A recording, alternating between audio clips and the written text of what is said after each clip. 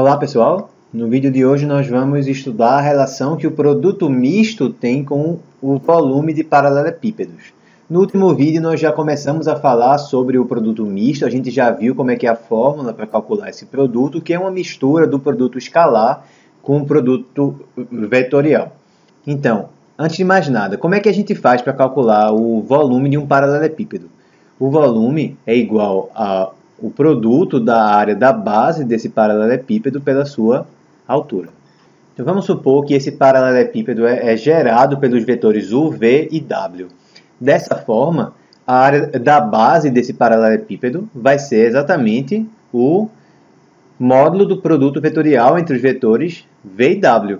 Né? A gente já viu em um outro vídeo que a área de um paralelogramo pode ser calculada usando o módulo do produto vetorial entre os vetores que determinam esse paralelogramo, certo?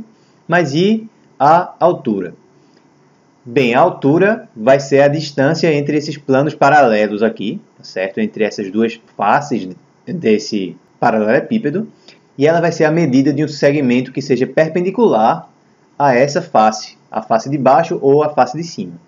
Então, como os vetores v e w estão determinando esse paralelogramo que está aqui na base, um vetor que a gente tem certeza que vai ser ortogonal a V e W é o produto vetorial entre esses dois vetores. Se esse vetor aqui for o produto vetorial entre V e W, então a altura desse paralelepípedo pode ser calculada ó, projetando o vetor U na direção do produto vetorial.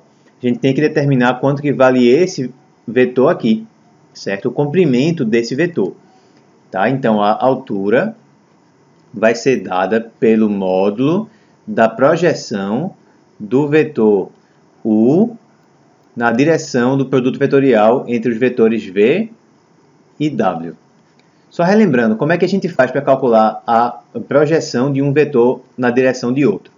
Se por acaso a gente fosse se calcular a projeção do vetor U na direção do vetor V, a fórmula que a gente já viu em outro vídeo é produto escalar entre U e V, dividido pelo produto escalar entre V e V, multiplicado, tudo isso aqui, multiplicado pelo vetor V.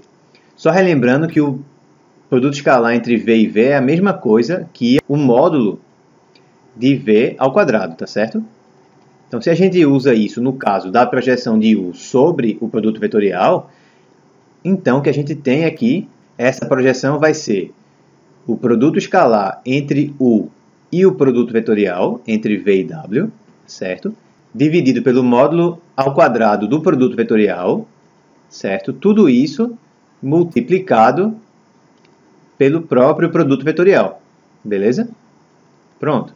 A gente vai ter agora que calcular o módulo desse vetor que está aqui, então, aqui em cima a gente tem um número. Quando fizer o módulo desse vetor, vai sair o módulo desse número aqui. Então, aqui no numerador, a gente vai ter simplesmente o módulo de quem? Do produto escalar de U com o produto vetorial de V com W. Como a gente viu no último vídeo, isso é o produto misto entre U, V e W, tá certo? Então, vai ficar o módulo do produto misto no numerador. E no denominador, aqui já tinha o módulo ao quadrado do produto vetorial e vai sair o módulo também do produto vetorial multiplicando aqui. Então vai ter um módulo em cima e vai ter o módulo ao quadrado embaixo. Vai simplificar, vai ficar simplesmente o módulo do produto vetorial aqui embaixo. Beleza? Então, como é que vai ficar o volume agora? A gente já tinha aqui a área da base, vai multiplicar agora pela altura. Quem que é a altura? É isso daqui. Então, vai simplificar esse módulo do produto vetorial que vai ficar aqui com esse que vai ficar aqui. Portanto, o volume desse paralelepípedo vai ser igual ao módulo do produto misto entre os vetores que determinam esse paralelepípedo, certo?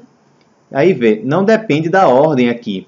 Porque se eu mudasse a ordem, eu ia mudar o sinal do determinante, lembra disso? Então a gente vai mudar o sinal do produto misto.